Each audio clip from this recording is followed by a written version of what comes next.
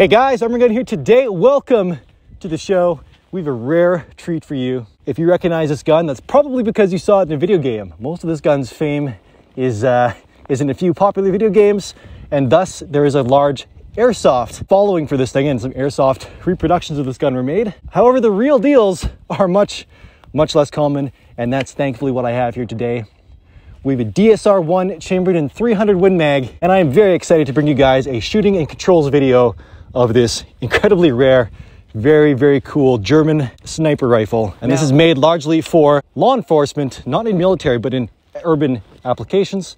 Much like the PSG-1, very famous gun, and the less popular, less successful Walther WA-2000. But guys, that's enough talking. If you want to learn more, I'll have a separate video discussing the history and specs of this gun. Today, shooting and controls. So, we have a big safety selector up here. It's ambidextrous on both sides. It's on safe right now. Safe totally locks out the bolt. The next position here, in the middle, is a partial safety. You can run the bolt, but the trigger is locked up. And then, of course, you have fire as well. So we're gonna run this thing. We're gonna load a chamber around, flip it to fire, and I've got a target down there. TA targets, Goliath. AR 550 steel. Here we go. First shot ever out of this thing. Woo! Hallelujah. This thing is beautiful. Virtually no perceptible recoil. This thing is is gorgeous. This gun is also very large and awkward to handle uh, from the shoulder, so I do apologize for the funky camera angles. I'm doing what I can. So open it up, run that bolt. There's our spent 300 Win Mag case.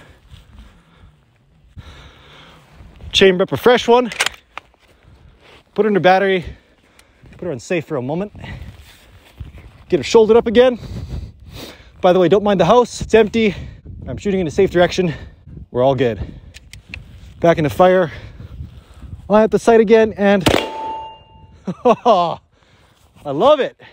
Very, very effective muzzle brake. There is very, very little perceptible recoil on this thing.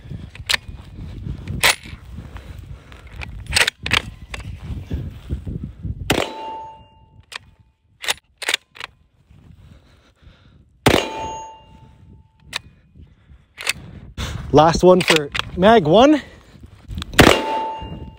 All right, guys, now for the mag change.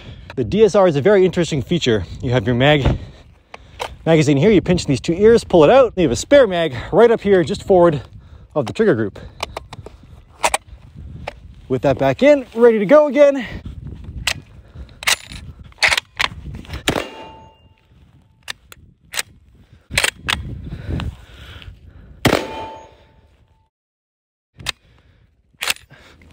Another cool feature with this thing is the adjustable handguard. There's a little button down here. You press that. It's actually got three positions.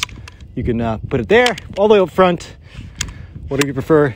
The uh, bipod also deploys like this, stows by pulling it out, pushing it back in the housing.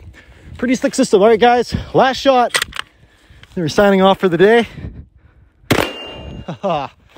that thing is ringing that big steel over there. That thing is huge. And the uh, these rounds are rocking it. Anyways, guys, that's the video on the DSR-1 shooting. Stay tuned tomorrow for the full video. This gun on loan to me by Hippo939. I am very grateful for him loaning me his gun and allowing me to put a few rounds through it. Again, these are very rare, very precious, very expensive guns. So I'm uh, definitely grateful for the opportunity to feature it here. Thanks a lot for tuning in. Guys, I'll catch you next time. If you like my content, please like, comment, share, subscribe. Follow me on Instagram at arm.and.gun and tell a friend. That's it for today, guys. Thanks a ton. Arm and Gun out.